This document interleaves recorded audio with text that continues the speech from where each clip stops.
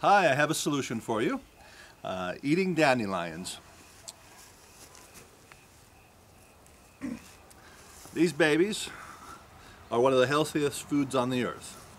If you uh, Google it, look up nutrition of dandelions, you'll find that you can eat every part of the dandelion, including the root and the tops, and that it's nutritionally about equivalent to spinach.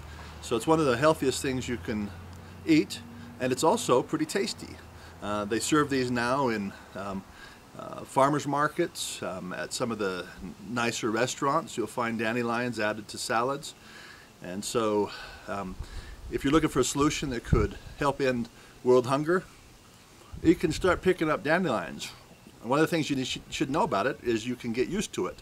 Like most of the, the solutions that I offer you, um, they'll be a little different.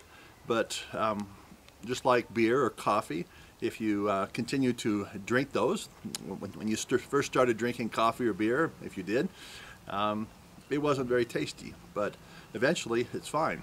That dandelion I'm just eating right now, pretty good. Is this is fall, spring, they're even better.